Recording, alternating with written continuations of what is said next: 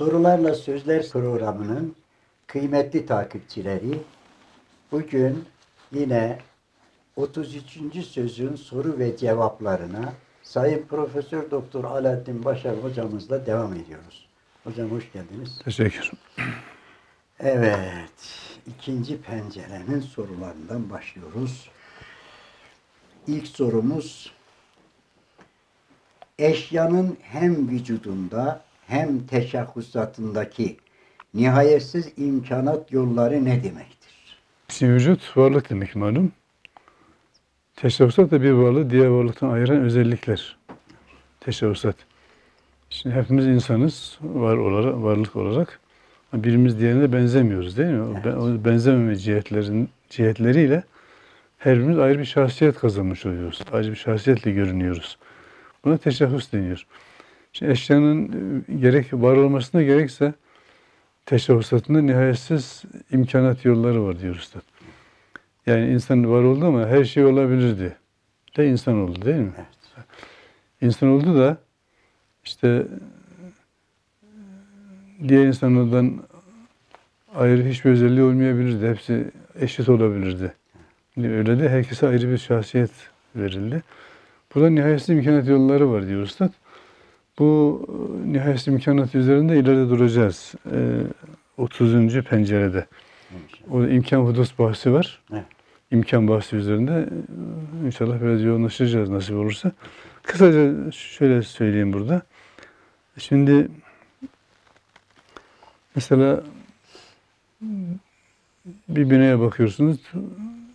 O, o vücudu binanın değil mi? Bir de teşebbüsatı var. Diğerine ayrılan özellikleri. E bizim binamız 7 kattır. İşte şu kadar metrekaredir. İşte rengi şöyledir. İlahir. Bunlar onu diğer binadan ayıran özellikler. Buna teşebbüs deniyor. Şimdi bir tek örnek verip dediğim gibi ileriye bunu bırakalım.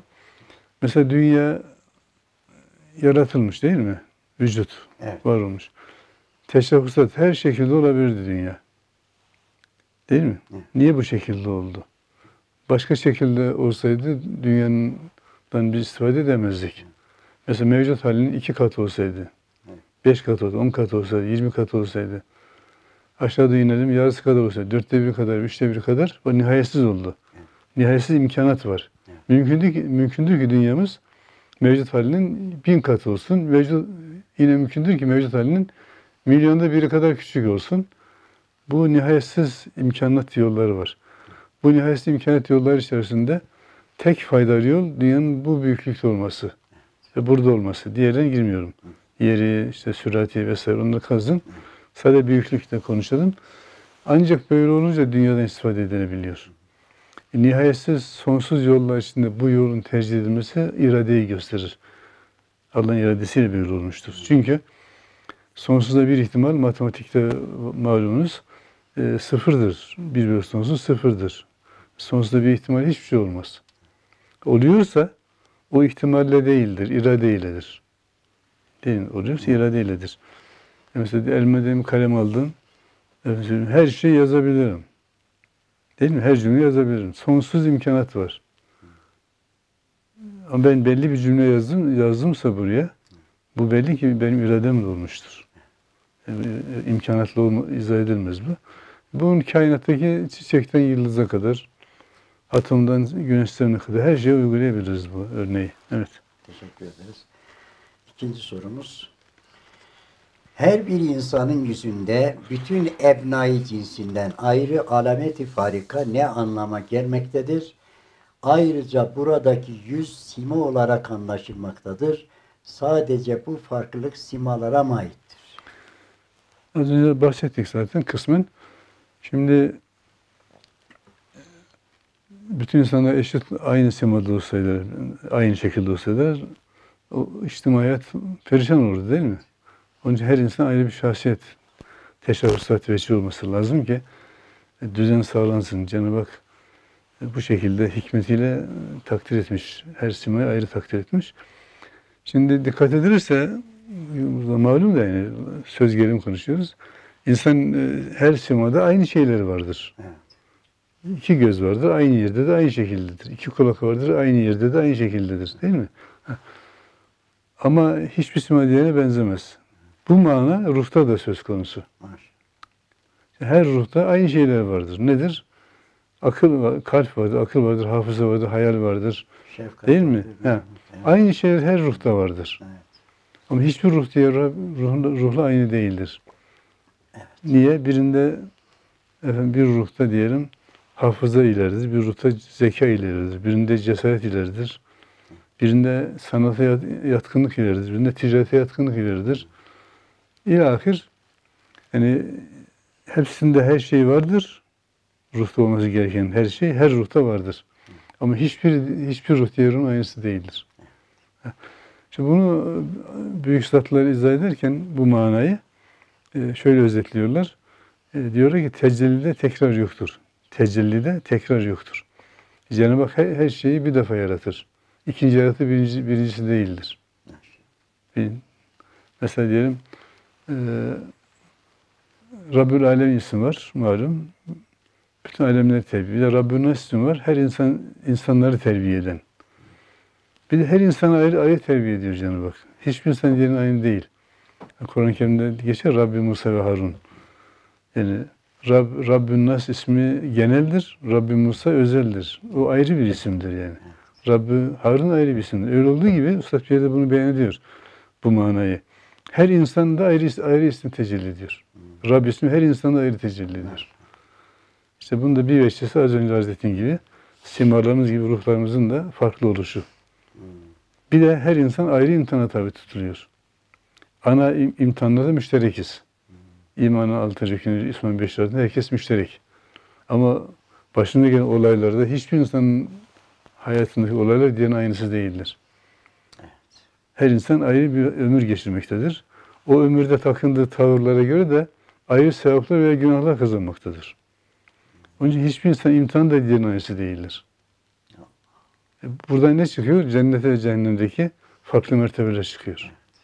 Bu farklılıktan dünya hayatın mezrası olduğuna göre bu farklı terbiyelerden ona muhatap olan şahısların farklı davranışlarına, e, bugünkü tabir tepkilerine, efendim, uygulamalarına göre, amellerine göre farklı dereceler veya derekeler cennete ve cehennemde.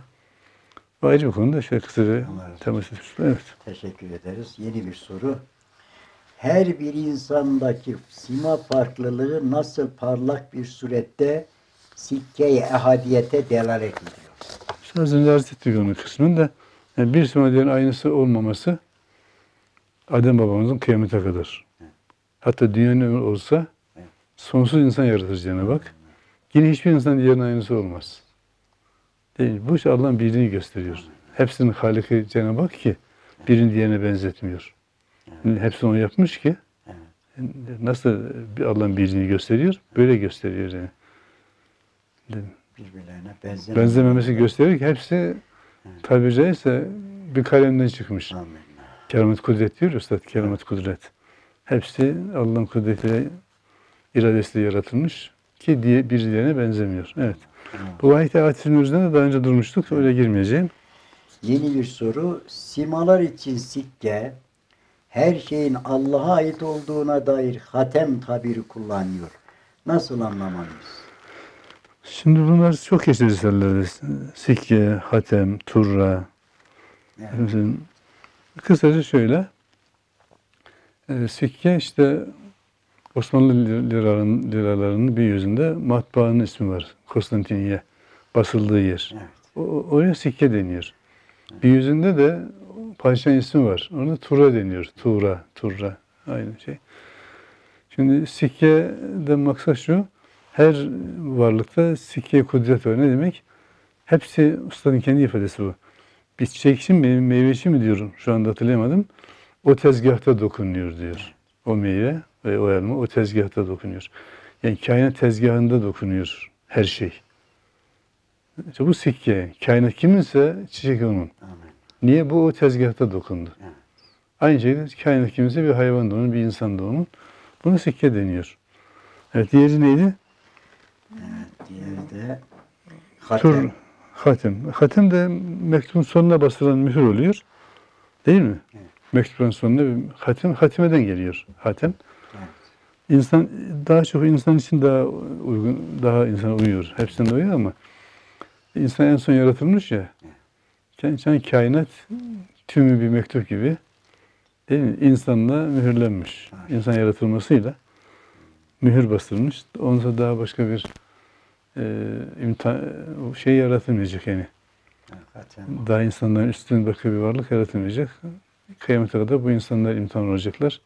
Cennet cehennem bu, bu, bu gruptan çıkacak yani. Zaten son manasını, son yaratılan.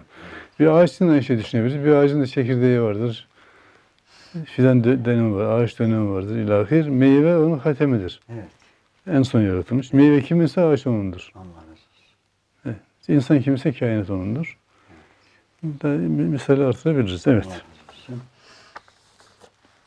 Yeni bir soru. Ayrıca sikkelerin mecmuundan zuhur eden sikke-i samediyet ne anlama gelmektedir?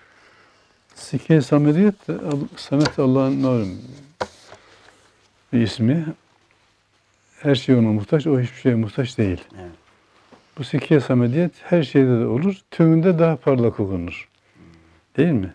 Her şey Cenab-ı Hakk'a muhtaçtır. Her şey deyince mesela cansız eşya da Cenab-ı Hakk'a muhtaçtır. Samediyet. Ne ile muhtaçtır? Varlıkların devamında Allah'a muhtaçtırlar canlı cansız eşya.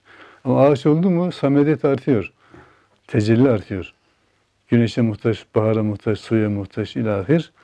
Samet ismine daha çok masar. Hayvan oldu mu da ihtiyaç artıyor. Göze muhtaç, işitmeye muhtaç, şey görmeye muhtaç, işitmeye muhtaç, yürümeye muhtaç. Bunlar ağaçlarda yok değil mi? Evet. Bunun hepsi ayrı isimlerle teze, tahakkuk ediyor.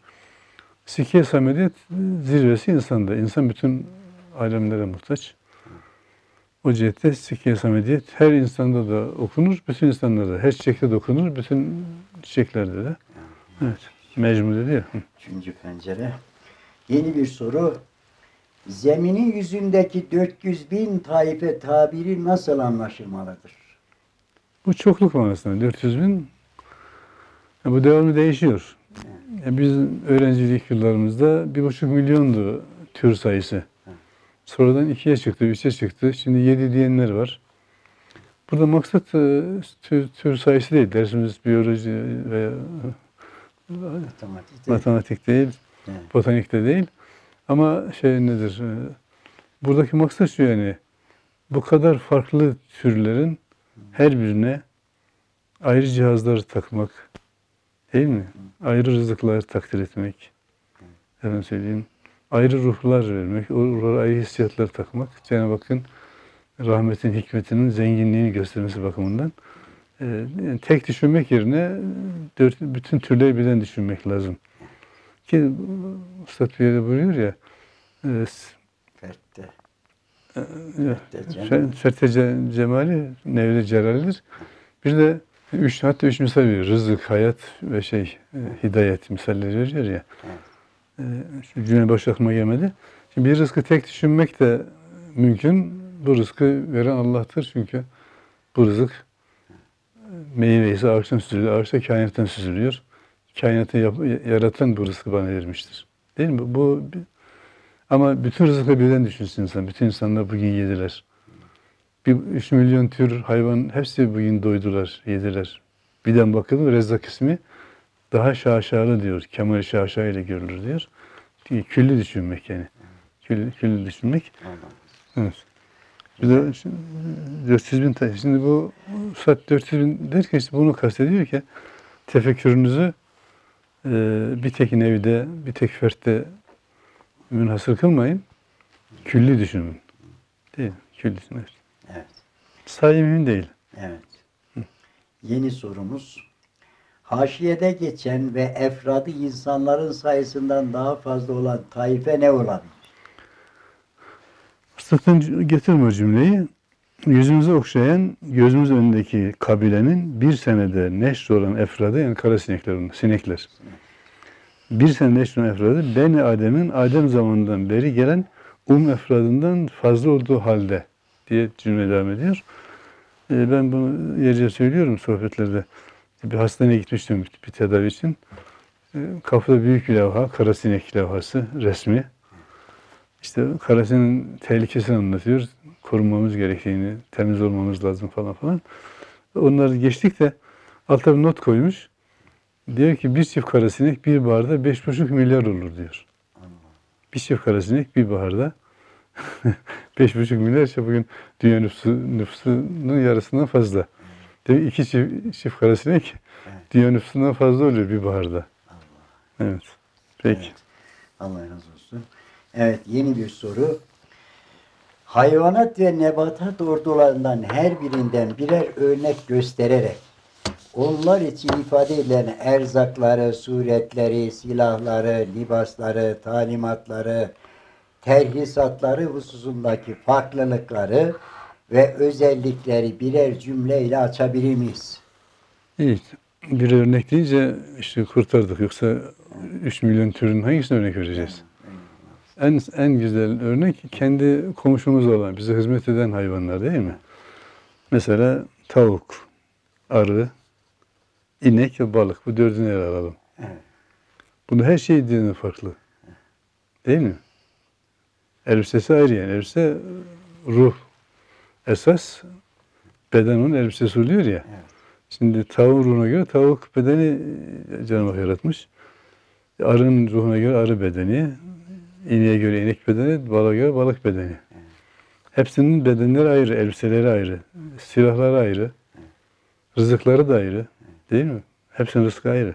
Tavuğun yediği başka, arının yediği başka, ineğin yediği başka, balığın yediği başka. Değil mi? Bunu bütün nevleri teşmil edebiliriz. Evet. Allah razı olsun. Güzel. Talimatlar ayrı diyor. Yani yaptığı işler, talimatları. Terisatları, ömürleri. Ömürleri farklı. Değil mi? Terisat ömür. Evet. Demek silahları farklı. Libaslar, elbiseleri, talimleri, yaptığı işler. Terisatları, ömürleri. Dünyadan göçmeleri. Teris o demek. Farklı olduğu halde mesela şu, hiç karıştırmaksızın tümü mükemmel idare ediliyor. Mesela buraya nazar etmek. Değil? Sayı önemli değil. Evet. Güzel. Yeni bir soru. Tedbir ve terbiye arasındaki fark nedir? Ben onun tarifini şöyle getirdim. Tedbir bir şeyin temin edilmesi için takip edilen yol. Tedbirler arıyoruz ki şu işi yapalım. Yahut bir zararı def etmek için e, ile düşündüğümüz çareler. İki manada kullanılıyor tedbir. Terbiye zaten çok geçti derslerde. Rab isminin bir te- tecellisi oluyor terbiye. Bir şeyin kademeli olarak safhalar halinde kemal erdirilip nihai noktaya getirilmesi. Bir çekirdek terbiye göre göre ağaç oluyor. Bir yumurta terbiye göre göre uçuyor. Bir nutfe terbiye göre göre adam oluyor, konuşuyor, düşünüyor değil mi? Terbiye bu. Evet. Yeni bir soru. Bütün bu ayrı ayrı envanın ayrı ayrı özelliklerini ve güzelliklerini tanzim ve terbiye etmek için neden hadsiz bir kudret, muhit bir ilim ve nihayetsiz bir hikmet icap ediyor? Zaten dediğim gibi milyonlarca tür hayvan. Fertlere bölseniz de- değil mi? E, Ayrı ayrı terbiyelerden geçiyorlar her birisi. E, Sonra her birisinin hücre ba- bazına düşünürseniz sayısız hücreleri var. Bir insanın efendim söyleyeyim ne kadar hücresi varmış? trilyon 100 trilyon hücresi varmış. Her hücrede o kadar atom var. Şimdi bütün hayvanatı birden düşünün. Bir de dediğim gibi e, dünya imtihan dünyası Cenab-ı Hak mahdut miktarda tabi caizse yaratmış bu varlıkları. Safa safa dünyaya gönderiyor. Değil mi? Dünyanın ömrü ebedi olsaydı ebediyen Cenab-ı Hak bu 3 milyon tür hayvanın her şeyini yaratacaktı değil mi? E, Şey sonsuz. Sadece insana mesela bakalım. Mesela ins- insan bedeninin mesela az, az önce size söylediniz ya 100 trilyon hücresi var. Şimdi her organın terbiyesi ayrı. Değil mi? Mesela akciğer değil mi? Şimdi bütün akciğerler birden çalışıyor dünyada. 7 milyar akciğer beraber çalışıyor. 7 milyar karaciğer de beraber çalışıyor. 7 milyar pankreas da beraber çalışıyor. Sadece insan evine düşünün. Evet. Değil mi? Hücreye indik mi zaten sayısız işler bir tek insanda icra ediliyor. Ya. Evet. Dördüncü pencereden bir soru. Evet. Tohumlara istidat lisanı, hayvanlara ihtiyaç lisanı, muzdarlara da ızdırar lisanıyla duaların tahsisi nasıl anlaşılmalıdır? Yani bu duaları başka varlıklar yapamaz. Şimdi bu tabii genel e, bir ifade yani şimdi tohumlar ihtiyaç fıtri lisanıyla Evet. fıtri ihtiyaçları yani yaratılıştan onlara bir ihtiyaç konmuş. O ihtiyacı temin edecek. Ustanın tabiriyle kaderse, kaderde geçiyor ya, sual ve cevap haktandır. Şu ihtiyacı fıtri bir sualdir. Değil mi? Evet. Fıtri ihtiyaç. Bunun cevabını da Cenab-ı Hak yaratıyor. Değil mi? Çekirdek ihtiyaç fıtrisine ağaç olmak. Cenab-ı Hak çekirdeği ağaç yapıyor değil mi? Onun o duasını kabul ediyor. Onu toprak altından çıkarıyor. E bir nutfenin de ihtiyacı fıtrisi var adam olmak. Değil mi? Cenab-ı Hak onu toprak altından tabir ederse anne rahmi toprak altı gibi. Değil mi? Toprak ana diyorlar ya. E, onu da Cenab-ı Hak orada rahmeti besliyor, dünyaya gelik hale getiriyor dünyaya getiriyor ve şimdi bu manada ilk akla gelen tohumlar olmakla beraber e, bu e, ona münhasır değil yani. Mesela gözün de ihtiyacı fıtrisi ışıktır değil mi? Işığa ihtiyacı vardır. Cenab-ı Hak ışık veriyor. Kulağın ihtiyacı fıtrisi sestir. Cenab-ı Hak ses yaratıyor. Yani bu e, bir e, sadece çekirdeğe şunu mesela muzdarların ihtiyacı fıtrisi diyelim işte e, çok çaresiz kalmış e, aç, aç kalmış bir hayvan Cenab-ı Hak bilinmedik bir yerden Cenab-ı Hak bir sebep yaratıyor, rızkını gönderiyor değil mi mesela? Ama bu sadece ona ma- mahsus değil. Üstad bir örnek veriyor, onu da getirdim. Ne buyuruyor ki, sonunu okuyacağım sadece. Kırık bir tahta parçası üzerindeki fakir kalbi kırık bir müminin, masumun duası hürmetine denizin fırtınası şiddeti, hiddeti inmeye başlar. Şimdi kırık bir tahta parçası üzerinde ölümü bekliyor. Cenab-ı Hak o ızdırar lisanıyla duasını kabul ediyor, fırtınaları dindiriyor. İşte bir vesileyle onu sahil selamete ulaştırabiliyor. Yani bu dediğim gibi bir şahsa bir neve mahsus değil, geneldir. Yani bir insanda hepsi vardır yani. Evet. İnsanda ihtiyacı fıtri de vardır, lisanetler vardır. Çok muzdar kaldığı haller olur, ustadın verdiği örnekte olduğu gibi. ızdırar lisanıyla da olur. Evet. Evet. Beşinci pencereden suala başlıyoruz. Ben buna bir örnekte şey yapmışım inşallah. Başka daha geniş konuşuruz. Yani ustadımızın efendim söyleyeyim küfür ve dalaletin imana şahsı manevi halinde hücum ettiği, dünya çapında organize olduğu, dev- devletler arkasına aldığı, efendim, localarla, efendim, örgütlerle çalıştığı ve özellikle Türkiye'de gençlerin imanına hücum ettiği bir dönemde Üstad Hazretleri o kadar kıvranmış ki yani ya, karşı müthiş bir yangın var diyor. İşte o, o, çektiği ızdırap lisan ızdırapla bir dua olmuş sanki. Cenab-ı Hak lisan külliyatını yazmasını lütfetmiş. Amin. Bu da ızdırardır yani. Evet. Peki. Evet, yeni bir cümle. İlk cümlede eşya hususan zihayat olanlar defi gibi ani bir zamanda vücuda gelir buyuruyor. Halbuki müşahedemiz bunların zamanla ve bir süre zarfında meydana gelmeleridir. Mesela bir çocuk 9 ayda vücuda geliyor, bunu nasıl anlayabiliriz? Şimdi defi, önce şunu ifade edeyim. Ustadımız defi gibi diyor. Evet, Gibi. Gibi tabii yani defi gibi sanki defi gibi. Sanki bir anda oluyor gibi sanki. sanki.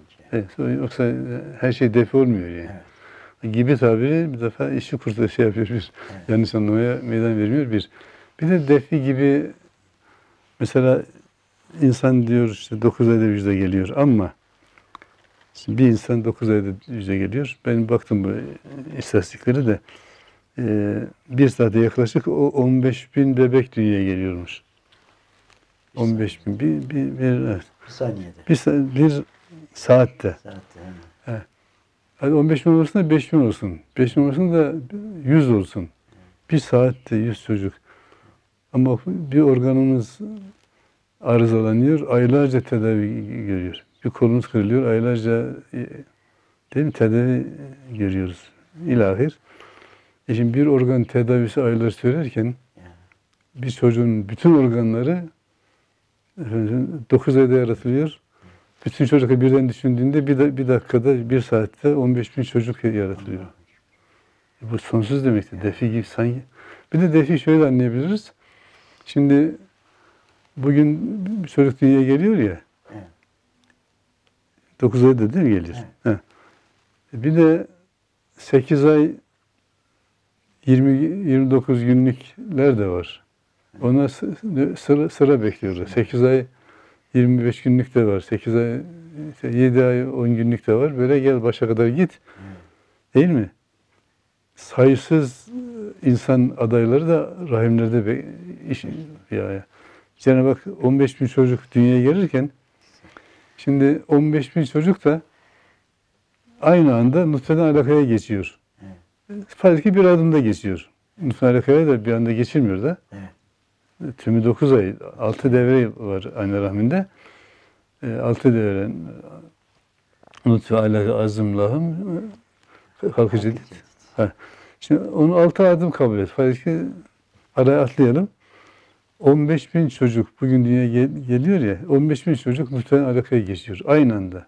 Aynı anda 15 bin çocuk da alakadan mudgaya geçiyor. Aynı anda 15 bin çocuk da işte ilahir bir anda anne ra- rahimlerinde birbirinden farklı sonsuz denecek kadar çok işler görülüyor ya. Amin.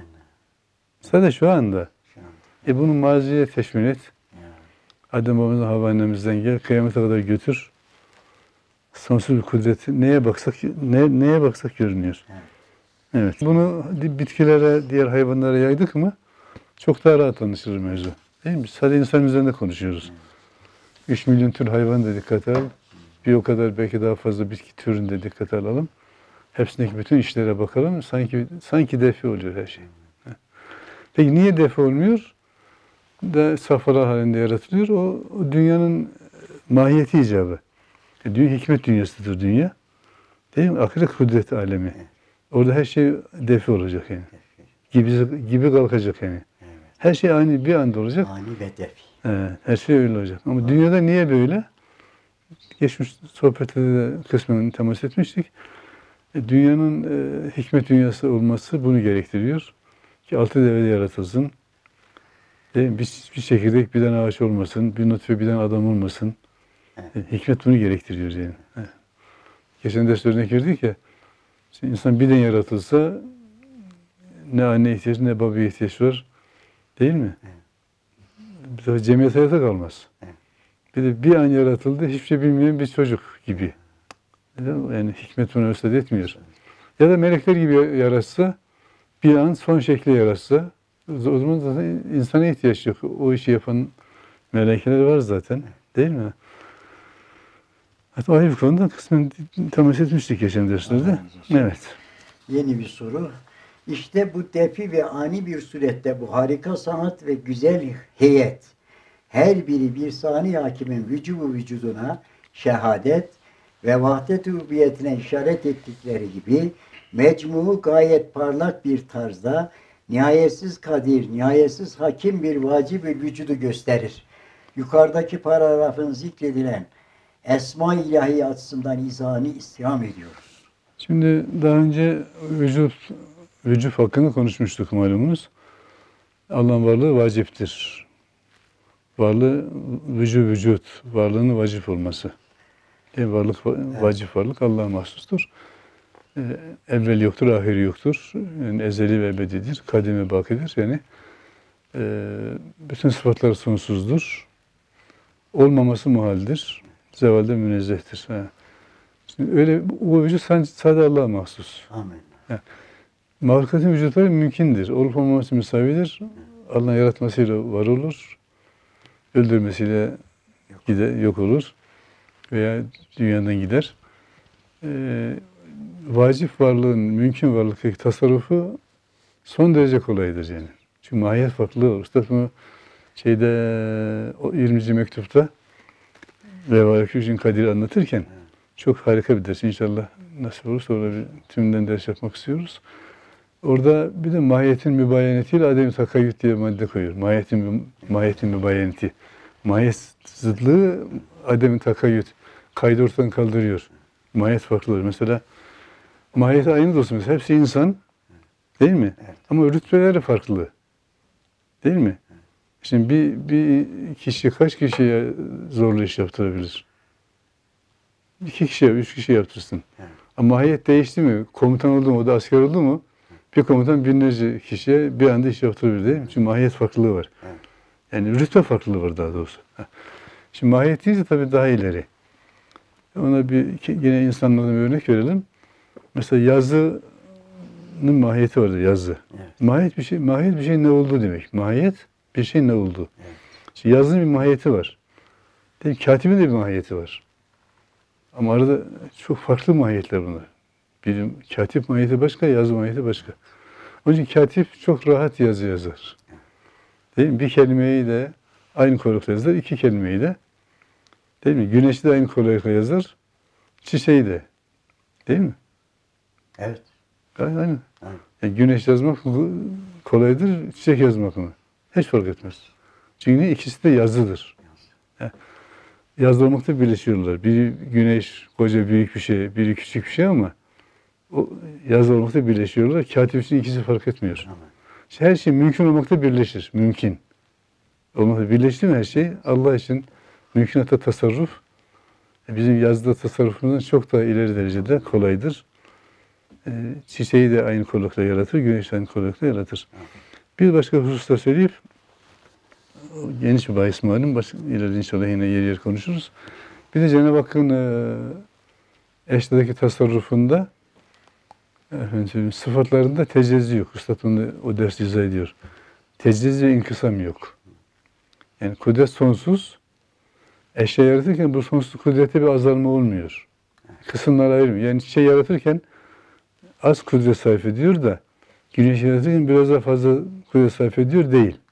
Aynı kudret, kudret aynı sonsuz kudretle çiçek yaratılıyor. Aynı sonsuz kudretle sema yaratılıyor. Aynı sonsuz kudretle. Evet. İkisi de sonsuz ama eşyanın mahiyetine göre, kabiliyetine göre tecelli farklı oluyor. Yine ustadın güneş misali her şeyi aydınlatıyor. Bun- Buna da örnek verip o soruyu bitirelim. Mesela güneş diyelim bir damlada da tecelli ediyor, ayda da tecelli ediyor. Evet. Değil mi? Aynı kolaylıkla.